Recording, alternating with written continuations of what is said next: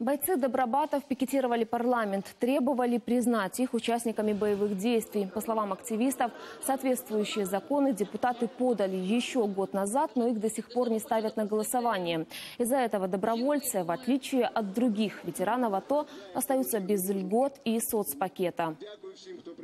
Звичайно, дуже образливим, що ті, хто першими став на захист, ті, хто пліч опліч з збройними силами. Тобто, ми сьогодні закон не передбачає абсолютно жодної заробітної плати, нічого. Тобто, фактичне визнання і надання якихось певних пільг. Ну, Це питання безумовно треба спрямувати до президента. Треба спрямувати до більшості депутатів Верховній Раді з провладних, перш за все, фракцій. Е, Але зараз вони не хочуть підтримати реально, не на словах, а реально підтримати добровольців. Вони бояться добровольчого руху. Вони не хочуть, щоб ці люди мали відповідні права, мали відповідні пільги, тому що вони їм не вигідні. Це люди, які мають свою позицію. Це люди, які можуть спитати, в тому числі і з нинішньої влади, власне за їхню бездіяльність, за їхню корупцію, за їхні злочинні дії.